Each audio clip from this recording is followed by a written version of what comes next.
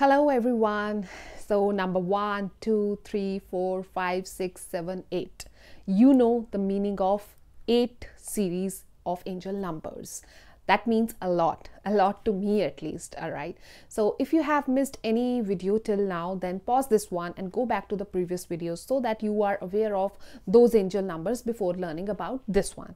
So today I'm gonna talk about one angel number and that is one, two, three, four yes the sequence. One two three four.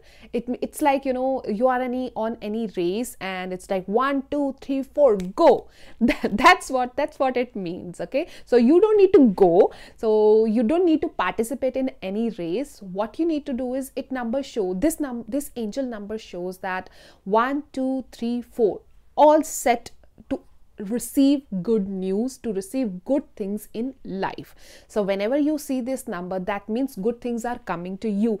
But but you need to give that clarity to your mind what actually you need and after that you need to set the intention behind it like i want to uh, I, I want to uh, what I want to do. I want to do a TEDx speech. Okay, if uh, I'll say about my clarity that that is what I want for the uh, few months down the line, and I'll give my intention because I want to create more impact on the lives of the people.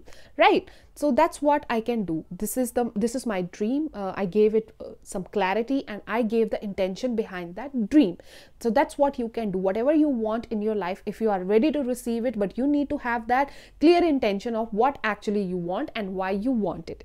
And then one two three four ready to go. You are ready to receive it. Again see these numbers are there to give you you know hope positivity because the entire universe is based on numbers.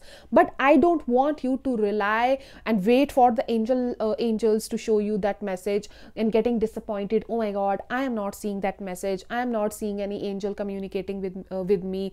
If you are not seeing any such numbers that's okay. But don't forget to bring that clarity to your mind to set intention behind it and do uh, you know affirmation or visualization to make sure that your mindset is aligned with what you need in your life all right?